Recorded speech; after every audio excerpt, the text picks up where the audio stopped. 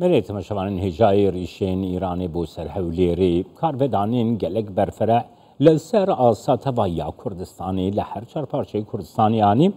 Hem derbasî Diyarbekirê dibin serokê giştiyê Partiya Sosyalîsta a Kurdistanê Bayram Boziyel mêvanê min e silav û rêz bo te kekê Bayram.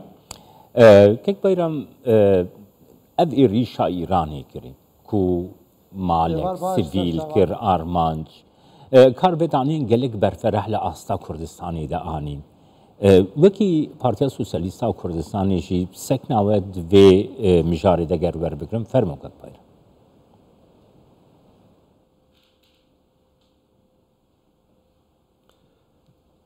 Kek cemal cemme dibêjin di her şerek da xêrek heye ev êrîşa li ser hewlêrê ya Îranê bu sebep ku rüye İran'ı kreş dije mrovahiye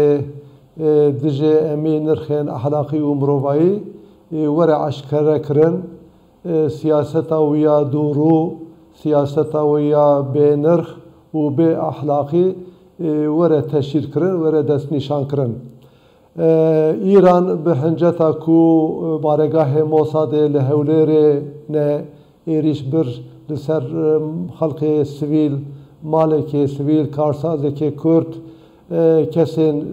bêguneh, kesên sivîl û divê da hûn zanin e, pêşev dîzayî û keça wî jîna û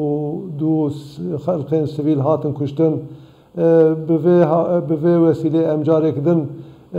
wan şehîdên Hewlêrê şehîdên Kurd bi rêz û hurmet او ریشا هوانه ریجا ترسونک یا در اخلاقی ایرانی جی بتوندی شرمزار کن ام گله کیف خوشن کو خوزی بوی اوای نبانا لجار جی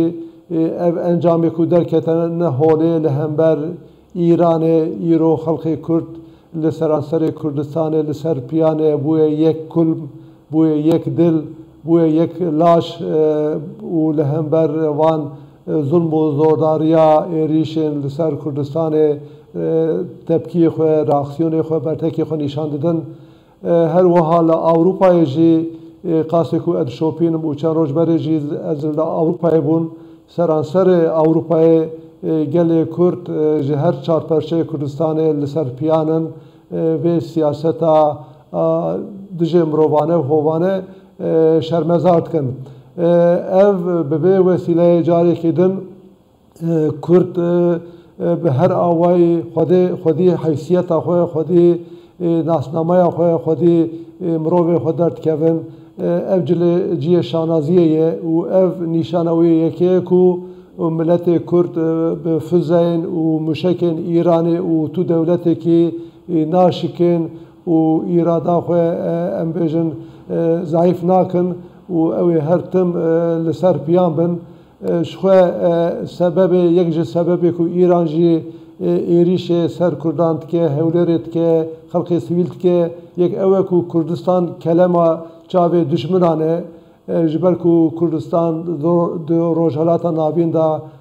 îro numuneya herî başya aramiyê e, serweriyê û pêşketinê ye لور جن آزادن لور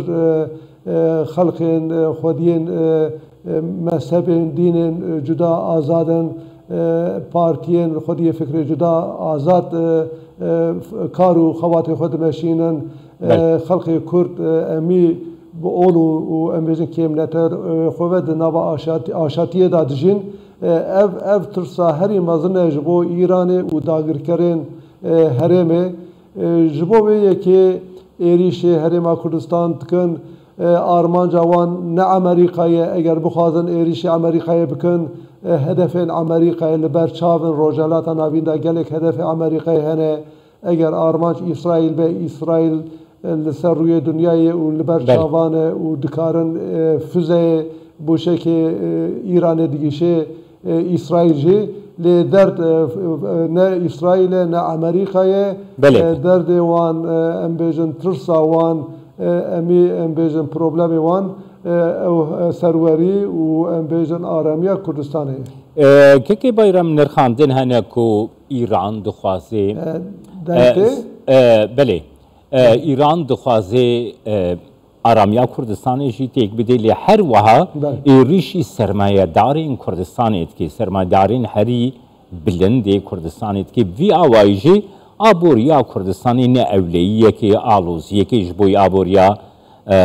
حریما کوردستانی پیدا بکه دوی درباره دگر نرخاندنات بگرم که کی بیرم